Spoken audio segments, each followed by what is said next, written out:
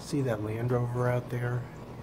That is Elsa, my 1970 Series 2A. So when I first got the car, I found like 50 things that needed to be fixed, most of them minor. And uh, I had some major work done on it too at a garage. I had brakes, steering, clutch, you know, that kind of thing all redone. And um, then I started working on the little things. And um, first thing I did was, well, the car had no mirrors on it. I guess if you're driving it in four-wheel drive, who needs mirrors, right? You can just, uh, you know, out on rough tracks or green lanes, whatever. So um, to be at least street legal, it needed mirrors. So I put two wing mirrors on it, and then I put an interior mirror on it. So um, why don't you uh, watch the video, and um, it's one of a series of videos. I'm gonna go ahead and have breakfast, and then I'll come back after that and uh, tell you a little bit more about the car.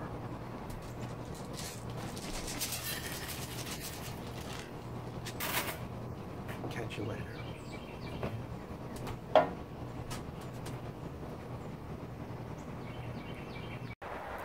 Right now I'm going to install a wing mirror on my 1970 Series 2A Land Rover and ultimately it's going to um, it's going to look like the one here on the other side.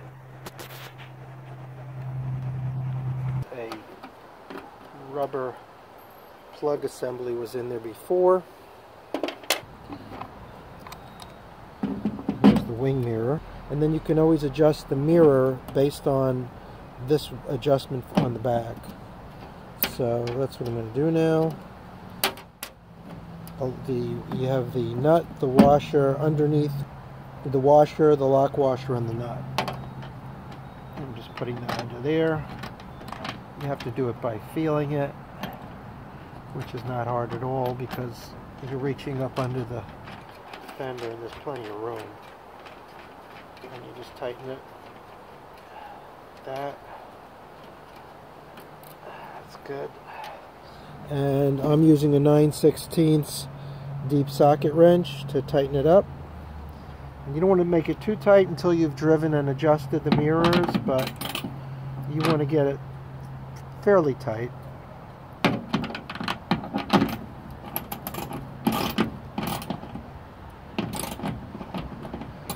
But you to make it so if you need to turn it a little bit, you can. Right, and then um, you need a smaller socket wrench for that, which I'm going to get. I'm just using a little socket wrench for this.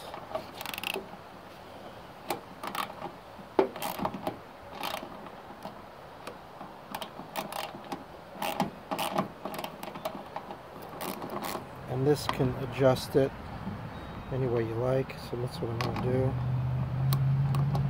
Tighten it up. And then I'll test drive it and make my adjustments and then tighten everything up.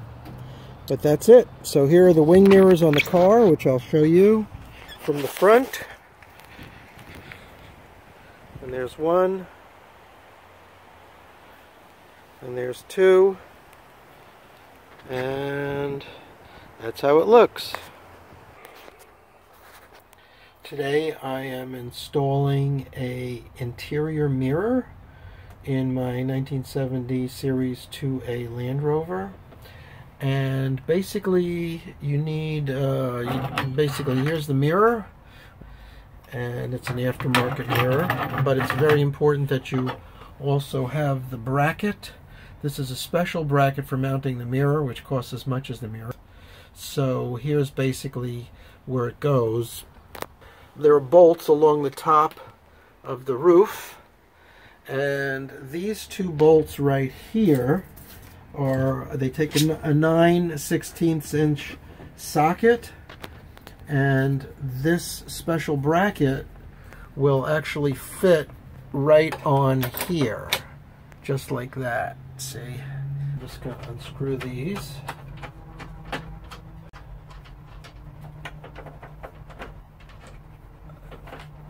a bolt. Actually, a bolt comes down, and this is a special nut. You can see you got to order it. I'm not sure what they call it. That worked. Okay, so there's the other one. Now we put the bracket right up against it.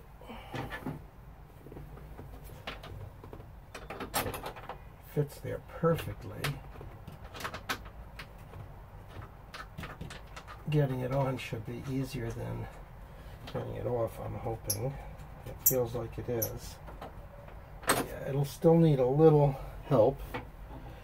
And let's get the other screw. The other nut on here. And I will tighten it later. For the sake of the video, I'm just going to leave it so you can see how the mirror goes on there. Now the mirror has doesn't come with the screws, but I'm using I'm using a small screw that has a recessed, well, a tapered head because the hole in this mirror is tapered with a lock washer and a nut. And we try to start it here, if possible, which would be nice. Yeah, a little bit. I'll get the other one started as well. And here's the other one. Screw, lock washer, nut.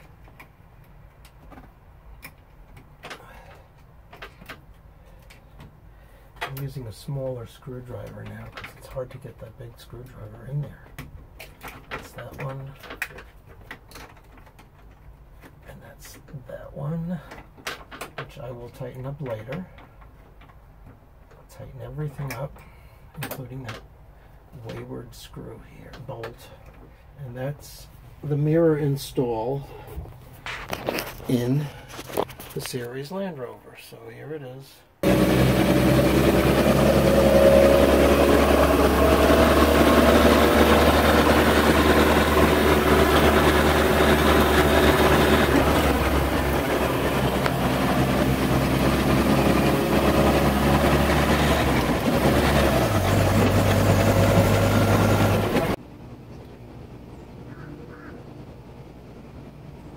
So, how did I come up with the name Elsa for my Land Rover?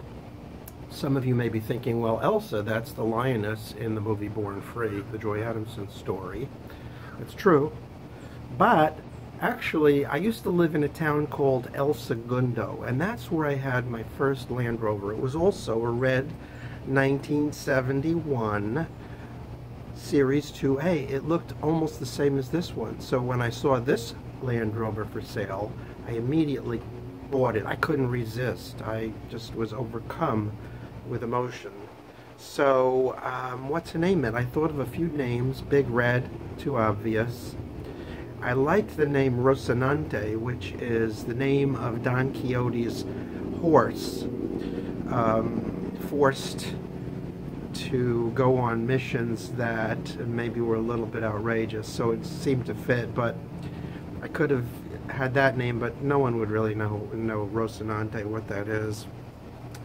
And then it occurred to me that the town I used to live in, which was um, right between Los Angeles and the beach, um, right near Los Angeles Airport, called El Segundo. That's where I had my first Land Rover. I said, well, why don't why don't I name the, the car El Segundo, which is what I did and it is the second Land Rover that I've owned. And in Spanish, the second means El Segundo. So I picked that name, and just coincidentally, a good nickname for El Segundo is Elsa. There you go. That's how I came up with the name.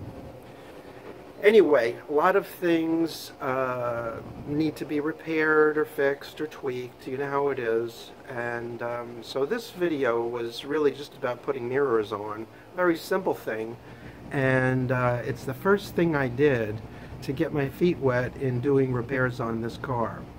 And subsequent videos, as you're going to see, uh, will get a little more complex as I learn more about the vehicle and uh, dive into doing more and more of the maintenance because I'm committed to learning all things mechanical about maintaining and fixing my Land Rover. So I hope you liked the video and thanks for watching.